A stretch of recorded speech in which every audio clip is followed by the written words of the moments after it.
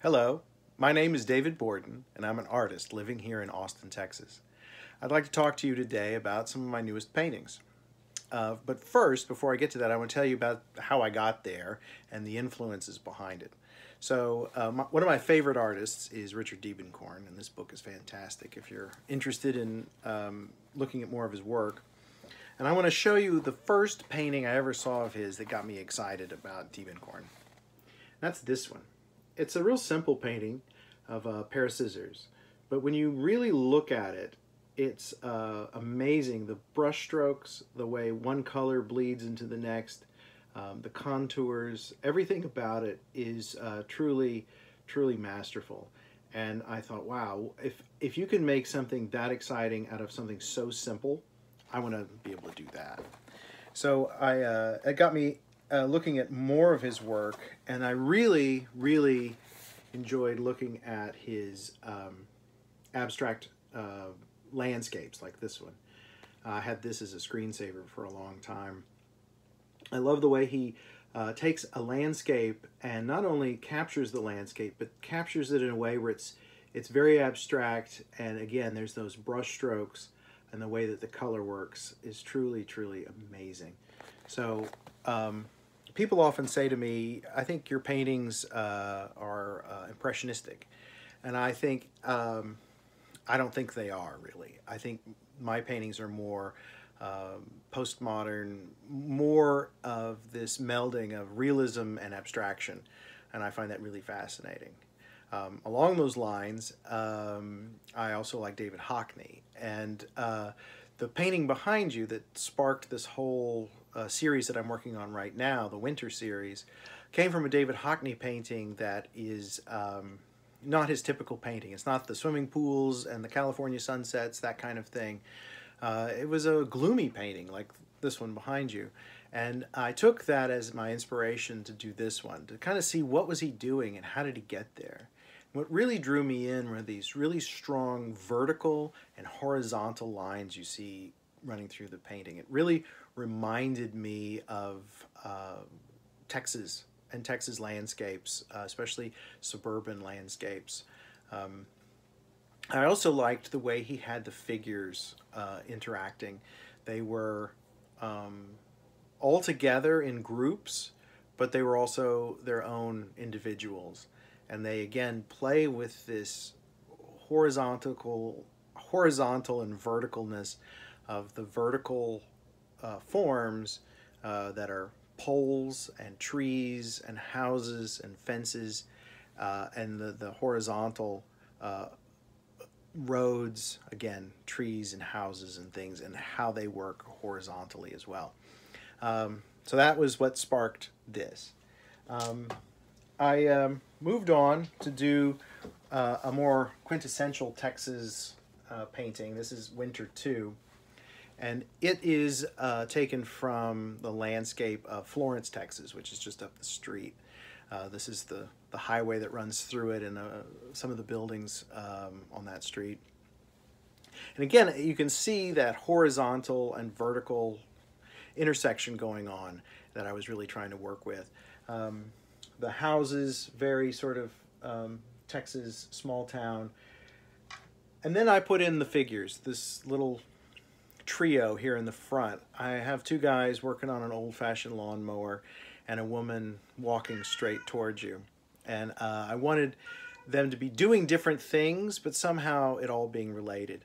And again, I stuck um, a lone figure in the background, but instead of making them muted like the background, I painted them a bright, um, do you hear my cat? My cat has come in to tell me I'm not paying him enough attention. Uh, so the, the figure in the background is painted with uh, a cadmium red. Uh, and I really liked that, and I brought that back into the sign up here, this weird abstract sign, uh, right? That's what signs really say. They're not, um, no matter what they say on the sign, they're really just a pointer. Come here, look at this. Uh, and I really wanted to make that statement with these paintings is, is there's this abstraction and this realism and the symbolism and how they all work together. So uh, my daughter, Ruby, really liked those two paintings so much, she said she wanted one for herself. So I um, did Winter 3, but she said she didn't like the gloominess of the other ones, and so she wanted a brighter sky. So that's what we've got here. It's a bright summer, summer, sorry, a bright winter sky. Um, and it's very suburban Texas. If you've lived in the suburbs in Texas, especially in a new neighborhood that's just being built, this is what it looks like. Houses in the distance, large vacant spaces, uh, sidewalks that you think, who walks on that sidewalk? Where is that? Uh, this one is also about uh, the people who live in the suburbs. So we've got this guy here in the foreground who is triple tasking. He's he's very efficient. He's jogging, he's checking his phone, and he's taking the baby for a stroll. And uh, the three of them are all together, like our three threesome from the previous paintings, but they're all doing something different. They're really not engaged with each other. Whereas in the middle of the painting, we have a couple having a picnic, and uh, they are deeply engaged with each other. And there's even a TV at their picnic. Instead of a picnic basket, they have a TV, but they're not watching it. They're not paying any attention to it. And this cat over here is noticed and is going to come and join um, join their little group. So it's another threesome. We got the threesome of the people in the TV and then the threesome of the people in the cat. And then of course when you pull it all together you have a bigger trio. And what I'm trying to get to here is this isolation people doing their own thing. But in the middle of it all, we can hang out and um, enjoy each other. The fourth winter painting is not here, it's gone. So I'm going to show you the last that one that I've got right now. This is Winter 5.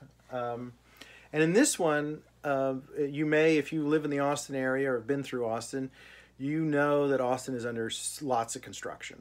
Uh, there's cranes everywhere. There's building shells everywhere. Everything's torn up. Uh, and um, but and this is from an area in Austin called the Highland area. Um, and long ago that was farm farmland, and that's why when I was painting this, this this goat inserted itself. Uh, goats are ubiquitous in Texas, and um, as I was painting the goat, I decided to do a lot more detail. There's much more detail in those previous paintings. Those other ones, the people are meant to be blank slates. They are meant to represent just people in general who are living in these places. Those of you who know my work know I'm also a portrait artist, uh, but I didn't want to do specific faces on those people, but keep them uh, blank. So anyway, this goat decided to insinuate himself in this painting, just like my cat is trying to insinuate himself in this video and uh, and he told me that we needed more detail in this painting. So uh, that's where he comes from. So we've got this industrial uh, building scene going on, lots of construction, but this goat from a previous time has has shown up. The uh, in the background there's a busker playing the guitar. It's Austin. You have to have a busker. Someone has to be playing the guitar if it's Austin. And then over here we have the three women who are uh, have more detail than any of the other figures I've done in any of the other paintings. Again, you see the, the vertical and the horizontal play here, um, what's going on. And the, the three figures, the women, are based on a Bruegel painting called Haymakers. And after the workday is done, these three women are leaving the fields. Um, and ah, the cat is climbing on me. And so, oh.